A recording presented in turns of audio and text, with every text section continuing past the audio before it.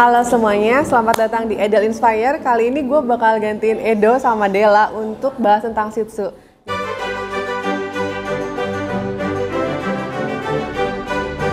Perkenalkan, gue adalah Siska, gue dari Pesindo. Gue kebetulan ketuanya Pesindo. Di video kali ini gue bakalan bahas tentang beberapa pertanyaan yang orang banyak banget penasaran tentang Shih Tzu. Nah, kalau kayak gitu kita mulai dari sekarang ya.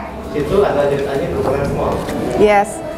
Shih Tzu itu ukurannya small, sebenarnya yang rata-rata tuh maksimal sebenarnya itu 8 kilo maksimal. Jadi kalau ada yang lebih dari itu, nah teman-teman semua harus diet karena sebenarnya rata-rata tuh 5 sampai 8 kilo sih. Itu cocok bagi owner atau eh, pemilik anjing yang masih baru di dunia anjing. Yes, karena Shih Tzu itu kan kalem banget dan dia tuh cocok untuk di tempat yang kecil. Sebenarnya seperti itu. Rambut itu tumbuh memanjang jika tidak rajin di grooming. Tetot. Salah. Salah. Karena Shih Tzu itu kalau semakin kita mau panjang harus sering disisir, harus sering di grooming. Kalau nggak disisir, Kalau nggak disisir dia gimbal, terus kayak kurang indah aja. keempat itu adalah tipe pemalas. Yes, pemalas banget. Jadi kayak kalau kita punya waktu 24 jam sama dia, mainnya paling cuma 4 jam doang. Gitu sih, emang males banget sih. Tidak ada anjing jenisnya. Ketot. Eh, karena sebenarnya karakter anjing kan tergantung karakternya masing-masing ya. Eh, ada juga sih ada Shih Tzu yang galak juga, tapi rata-rata memang Shih Tzu tuh nggak galak sih, kalem banget ya. Itu harus tinggal di lingkungan yang dingin. Yes. Apalagi kalau buat Shih Tzu yang berbulu panjang, dia kan memerlukan eh, jadi kadang-kadang untuk memperindah bulunya itu dengan cuaca dingin sih. Dan kadang kalau dengan cuaca dingin itu kayak lebih cepat memperpanjang bulunya gitu. Jujur, perawatan situ mahal. Ya. Kenapa? Mahalnya karena kalau untuk Shih Tzu yang berbulu panjang ya, kalau yang untuk berbulu pendek sih mungkin nggak terlalu mahal. Karena kalau yang berbulu panjang itu banyak banget treatment-treatment yang harus dilakukan. Shih kan harganya nggak terlalu mahal, tetapi perawatannya kalau untuk berbulu panjang itu lumayan ekstra sih. Kalau grooming itu tergantung kotornya. Kalau gue selalu biasanya seminggu sekali karena buat mem- pertama menjaga keindahan bulunya aja, gitu.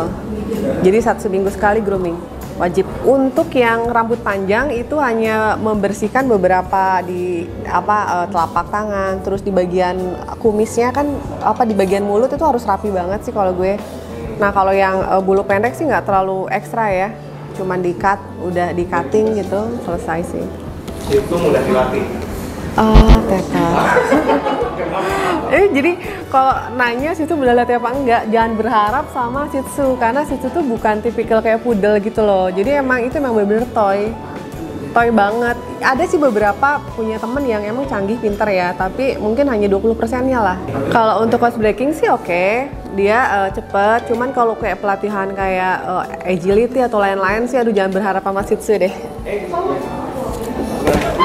Eh, kalau keras kepala apa enggak sih tergantung anjingnya ya. Kebetulan gue punya banyak anjing Shih Tzu di rumah, itu tergantung karakter masing-masing sih, gitu. Jadi ada empat Shih ya biasa aja sih. Maksudnya tergantung karakter masing-masing aja. Sembilan, itu jenis anjing yang cerewet. Cerewet enggak ya, enggak. Cenderung diam sih. Gonggong tapi selesai aja udah. Jadi kayak justru kayak menurut gue Shih Tzu tuh kayak terlalu murahan, terlalu ramah sama orang.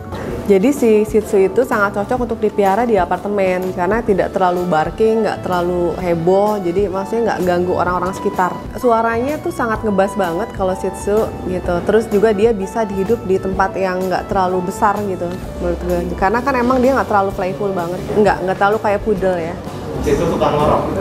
Iya. Ting. Iya suka ngorok sih. Pengalamannya semua empat cucu gue ngorok semua. Jadi kadang tuh kalau pas lagi tidur tuh agak kaget karena agak kencang soalnya.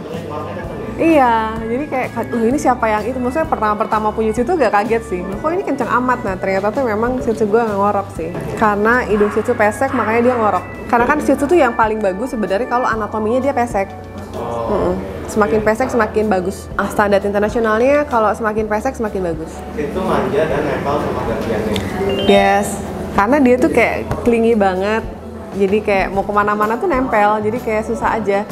Tapi seru sih, maksudnya buat, tapi tidak bikin repot ya. nggak harus digendong nggak harus apa mungkin dengan nempel di kaki aja dia udah Ikutin aja. ah ah, mereka udah senang banget Kayaknya kebanyakan kalau owner itu suka pakai stroller gitu. iya soalnya kan maksudnya tuh lebih simpel aja. Kayak karena Tzu tuh gampang capek. Jarang Tzu yang bisa kayak heboh gitu ya. Maksud terus juga kuat jalan enggak. Jadi di- mereka tuh gampang capek gampang terengah-engah gitu. Tzu itu kan karena dia itu kayak gampang capek. Jadi dia tuh tidak perlu dibawa jalan yang jauh segala macam jadi cukup di rumah juga udah oke sih. Rambutnya itu mudah kusut atau gimbal. mudah kusut atau gimbal ini dua-duanya ya. Jadi kayak karena tergantung sisirannya sih. Kalau pertanyaannya maksudnya gampang di sisi apa gimbal kalau nggak disisir segala macam. Gue tuh selalu nyisir shih tzu itu sehari dua kali. Oh malah sekali dua. Iya, kalau yang rambut panjang, kalau yang nggak rambut panjang tuh masih masih dicuekin. Kalau yang eh, kan ada yang cut ya, itu bisa tanpa sisir. Tapi kalau yang rambut panjang kayak Niko itu sehari dua kali minimal. Oh sering banget. Kadang kan kita lagi capek ya, lagi pergi terus sumpamanya yang jagain di rumah itu kan nggak bisa ngurusin sampai nyisir. Itu sempat tiga hari dan itu kusutnya kayak apaan tahu? Udah kayak setan. Serius. Oh, ada cara sendiri sih ada trik-trik sendiri untuk bisa ngelenturin rambutnya lagi. Buat tips-tips untuk yang pertama kali punya Shih Tzu harus dipikirkan adalah yang pertama kamu itu suka banget Shih Tzu yang rambut panjang atau Shih Tzu yang rambut pendek kalau Shih Tzu rambut panjang itu harus eh, persiapan ekstra rogoh kocek lebih dalam dan ekstra lagi lebih care lagi untuk perawatan. Kalau untuk yang rambut pendek nggak terlalu ekstra, tapi tetap eh, bisa-bisa lucu sih. Kalau yang pakai rambut pendek bisa dipakein baju, bisa dipakein apa-apa. Penyakit Shih itu adalah di bagian mata.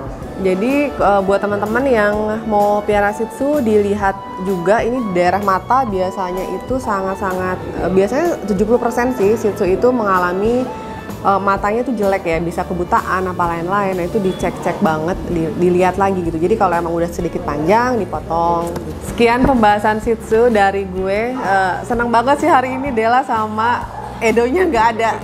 Jadi gue berkuasa di sini. Jadi eh, terima kasih nih dibajak dulu ya kan? Semoga informasinya bermanfaat eh, dan sampai jumpa di video berikutnya. Salam wuf bye